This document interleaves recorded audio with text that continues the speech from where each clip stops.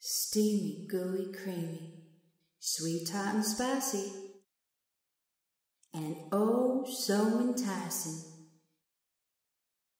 It makes us feel good. So good, we can't help but go back for more. We need it to survive. Oh, you thought I was talking about sex? Oh, no, no.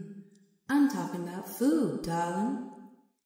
As Aunt Betty used to say, as she swatted cookies out of my hand, you are what you eat, baby girl.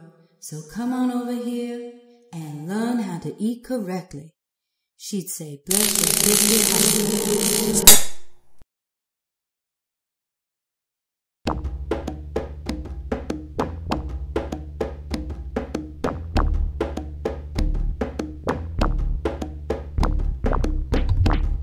You see, junk foods, foods with a lot of sugar and wheat, actually change our brain chemistry, which I'll explain later on, especially for little boys and girls.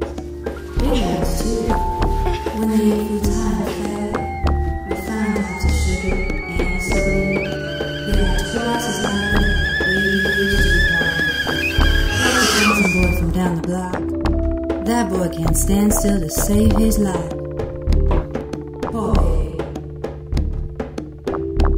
That's why your uncle only eats your Aunt Betty's good old fashioned home cooking. I make sure he's strong so he can change the world the way he does. The foods we eat is part of what makes a man pay attention.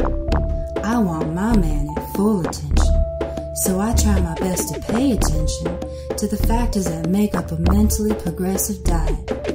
You get what you give in relationships. Remember that. I said to her, I was just a little girl.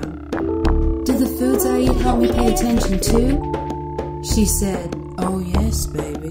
What's good for the goose is good for the gander. Man and woman, side by side, strong, when it's done correct. It's not easy for everyone to eat healthy. Like I said, there's many factors you should be aware of if you plan on surviving and maintaining a mentally healthy experience. Access to healthy foods is more challenging for people living in low income neighborhoods? Hmm. And that's not right. They're the ones who need it most.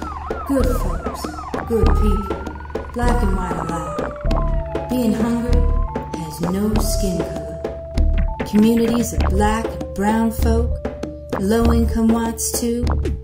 We ain't no different, baby girl, no better and no worse than any other people. The low income parts of the country have half the supermarkets as wealthy parts. Old big shots with their fancy cars. You gotta watch a man in a fancy car. Them little hoes love fancy cars. Your man step out dressed like a superstar. She. 23.5 million people don't have access to a supermarket within a mile of their home. And your man step out looking like he got food. You better ask somebody. Lots of these low income areas also have lack of transportation, which makes it difficult for folk to get to these faraway supermarkets.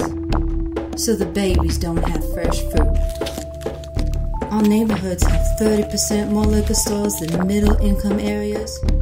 How you gonna put liquor in the center of a neighborhood where people are busting their backs for a dollar?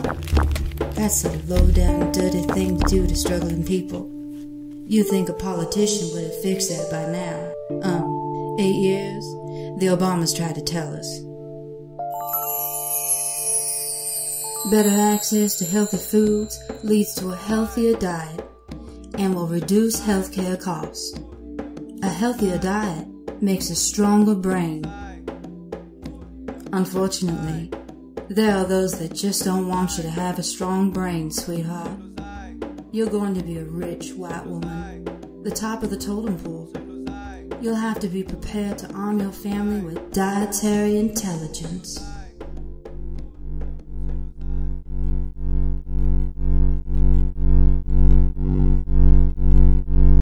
Let's get into the science of the